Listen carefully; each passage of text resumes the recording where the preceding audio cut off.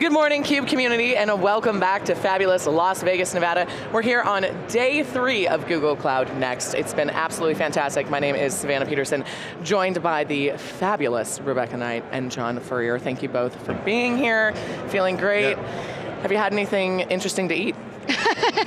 Here in Vegas, we're in a great food city. I went to a delicious restaurant last night called Carson Kitchen. It's in Fremont, highly recommended. Oh yeah, what about you, John? Uh, I've been eating some great steak and some food here in the hotel.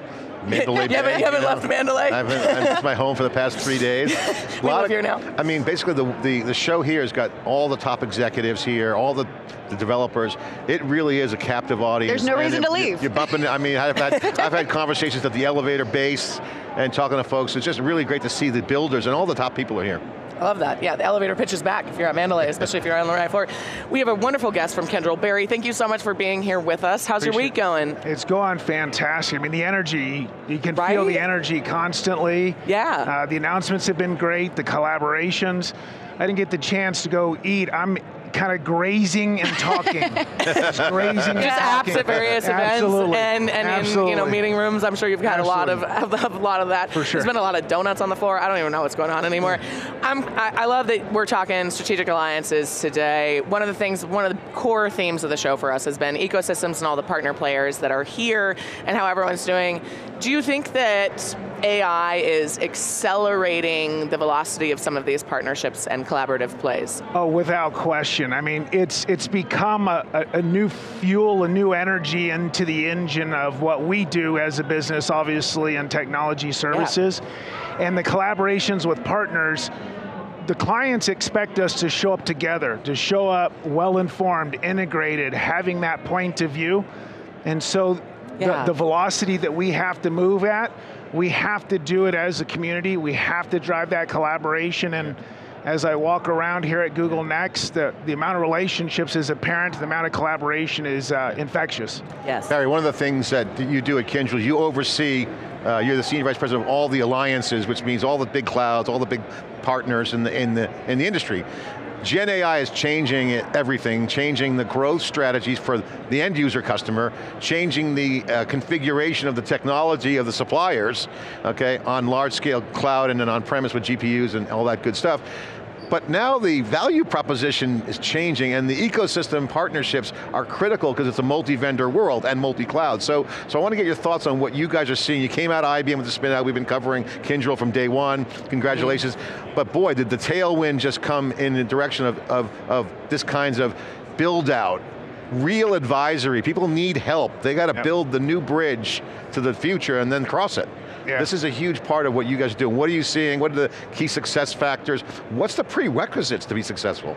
Yeah, I, I think that's a great question, John. I think a lot of what we're seeing right now is if you look at the decades of experience that we've had managing the most critical systems in the industry, clients are now leaning into us and looking at us and say, okay, it's the next chapter of a journey that we're on.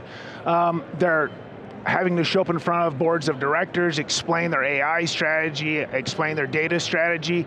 And so a lot of what we're doing is really compelling in terms of not only the collaboration that we're doing with them, the co-creation, the co-innovation associated with it, but having that informed point of view.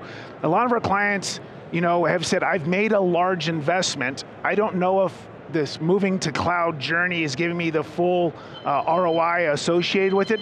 And so that they're challenging us to work with the extended ecosystems, the platform providers, the hardware providers, the software providers, and come forward with what that transformational strategy is.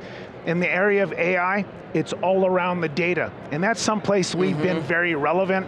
Data protection, data democratization, data privacy, data sovereignty, and helping them understand how to harness that as they move into this next chapter. It's interesting you mentioned data. If you look at, if you squint through some of the earnings and some of the uh, indicators from the big players, yeah, they got AI products, but the governance pieces are really the most hottest area. It's not the most sexy area. Governance is like, what's governance mean? But this is a key part of the AI strategy. It's not your yesterday's governance play. Correct. What is the data governance? Because that seems to be the, the key to unlock data to kind of be addressable, to be generated with, to be integrated with. What's your view of that? What's, what's the outlook on the governance piece?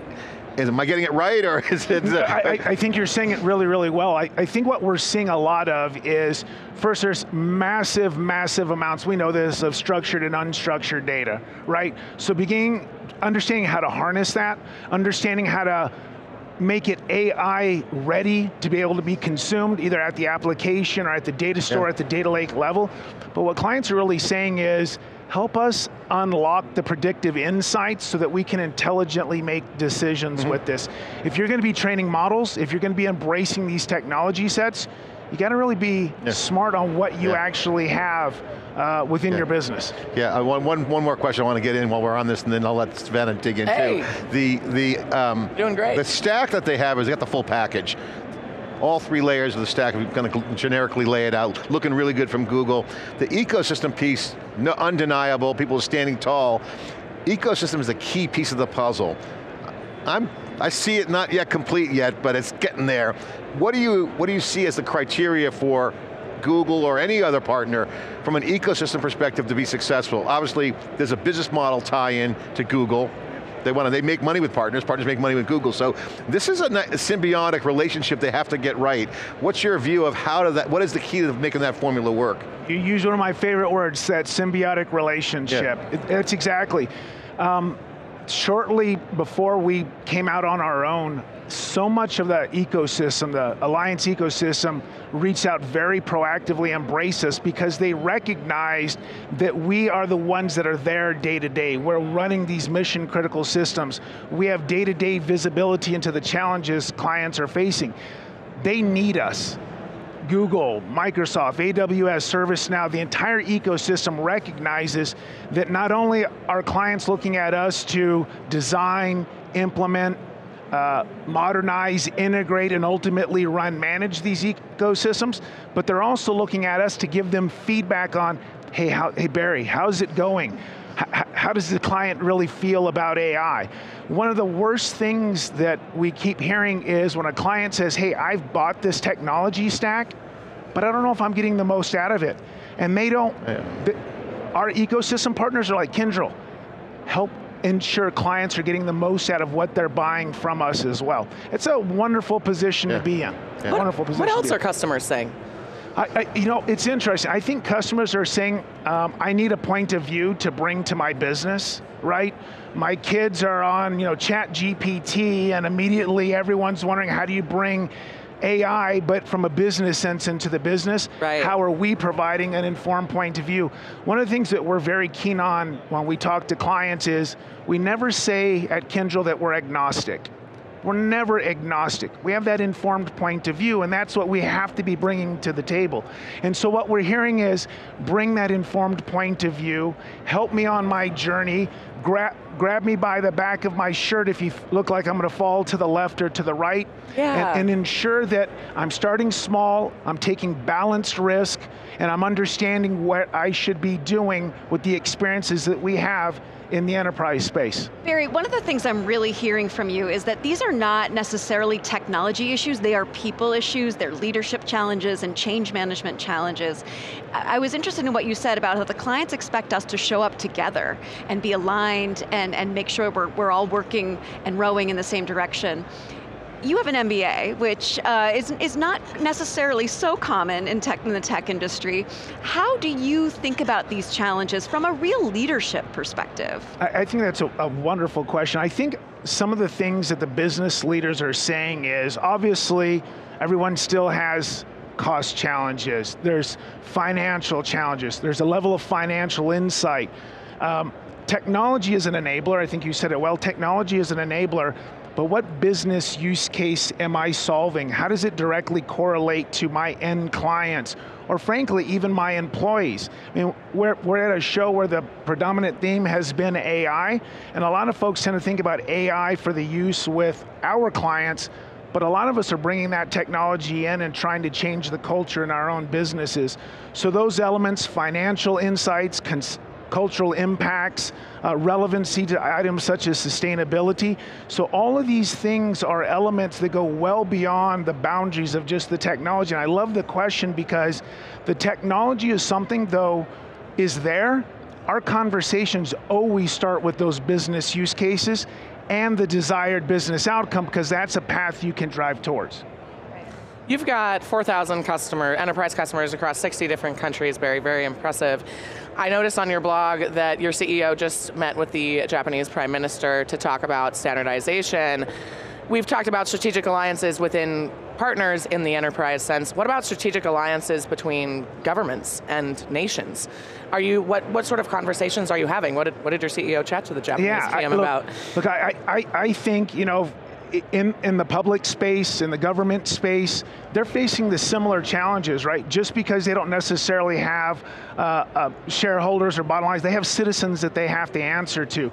They have to, there's questions about data privacy. There's questions about, uh, yeah. you know, the, the ability to ensure that I, as a citizen of whatever country, have the ability to engage with my government, but we have established boundaries. So those conversations, those forums that we participate in, Martin is an amazing advocate to show that there's a level of social responsibility that we have as we bring together technology and its application in the world as we drive what we need as citizens and frankly as humankind, right?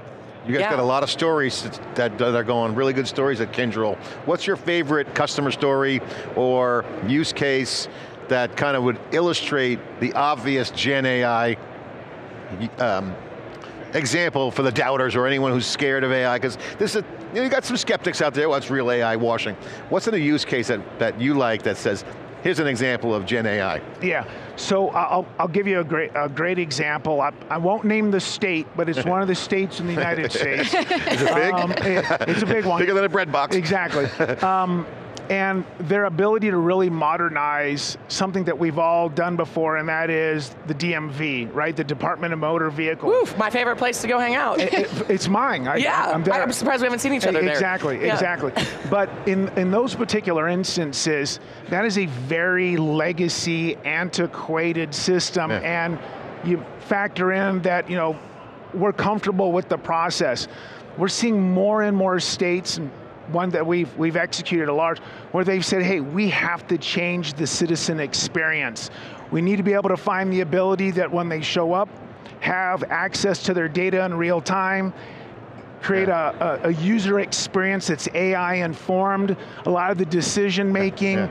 things that you can do that A, removes the human in the loop yeah, to some degree, but still gives the personalization that, hey, as the citizen of the state that I'm a part of, this DMV process, my ability to register a vehicle, my ability to renew a driver's license, those from a, a, a, video and image perspective, a data perspective, all of those things in terms of qualifications, taking your DMV test, it's all very well said, very, very multimodal for sure. Can I change that, my picture? That, that's one of my favorite examples. Of, but but uh, we can change my picture on my license. exactly. Everyone hates their picture on the well, driver's license. Uh, yeah, can you use AI no, but to make no. me look better? Yeah, yeah. we, we, did that at the Octo AI booth. No, but this is good. This is a public sector. All these processes that pay contracts, procurement, huge stacks of data on paper or databases that could be ingested and reasoned. Cross-modality reasoning is a hot trend we've been talking about on theCUBE. I love, I love, I love the DMV example because I think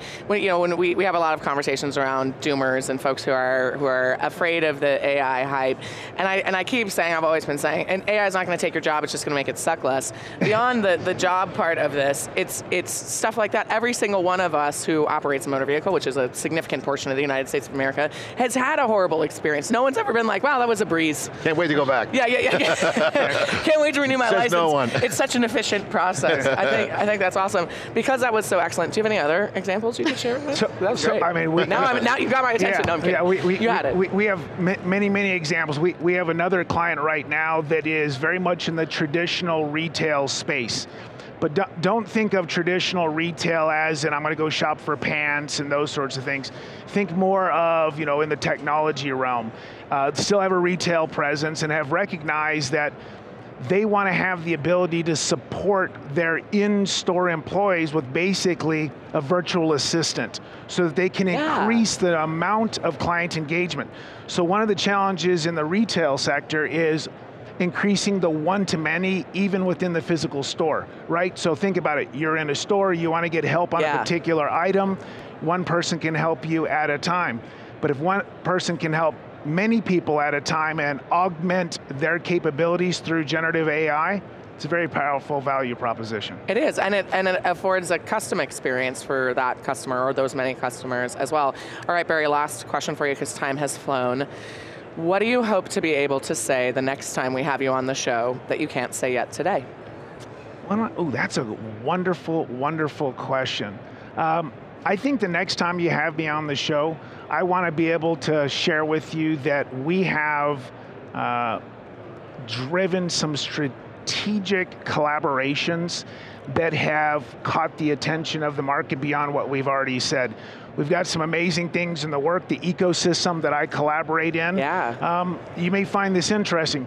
When I come to shows like this, I meet with a lot of clients, I meet with a lot of partners, but the amount of multi-partner ecosystem meetings we have, uh, no, we're not, you know, in dark rooms, you know, hidden away from others, but talking about joint problems that we're solving and collectively bringing those to the market, I think we're going to impress you with some more cross-collaborative ecosystem solutions Very for sure. cool. And wait to get those stories yeah, I am here for it, Barry. I'm ready to be impressed. This was already impressive. Thank you so much for being on the Thanks show. Thanks for having me. Absolutely. Appreciate Rebecca, John, always pleasure. And thank all of you for tuning in to day three of our coverage here in Las Vegas, Nevada. Google Cloud Next. You're watching theCUBE, the leading source for enterprise tech news.